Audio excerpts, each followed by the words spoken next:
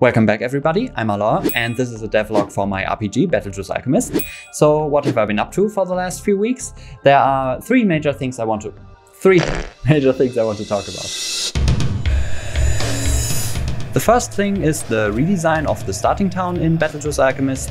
The second is the things that have been changed concerning mechanics and items and so on. And the last thing is a sneak peek of some fun visual things that are about to come. So let's hop right into it. Many of you have already played Battlejuice Alchemist after joining the Discord server and have explored the starting town that is called Cherokee Creek. I didn't get any specific negative feedback on this, but I realized that the perspective I have on Native American culture is that of an absolute outsider. For example, I don't have an understanding of objects like a totem pole and I would not want to offend anybody with my depiction of their culture. That's why I changed Cherokee Creek into Caribou Creek and ritual objects hinting at Native American culture into being more abstract and hinting at witchcraft. I feel like this works very well with the general tone of the game, but most importantly it is less likely to hurt anybody or be disrespectful, which I really wouldn't want. These changes also include that the cinematic introduction needs to be redone in parts, which I'm working on right now. As I said, the second bullet point of this devlog is changes in gameplay and balancing, and I'm getting some amazing help here by my friend Jan. He's doing playtesting and quality assurance.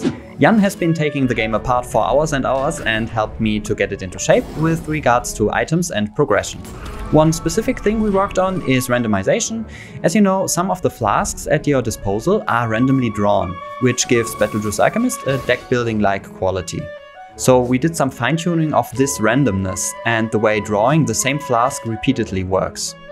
We also worked on an item affix that I called Off Fury.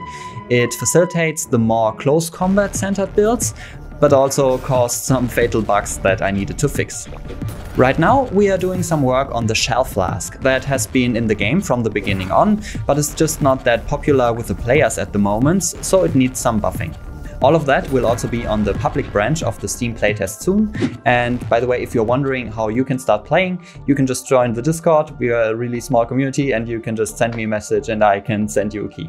Last but not least, there's something else I'm also very excited about.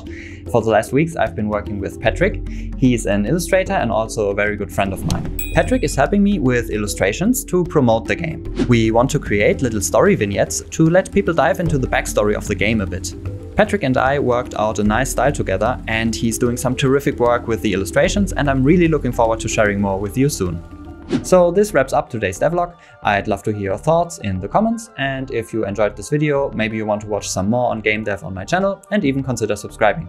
Thank you so much for watching and take care. Bye!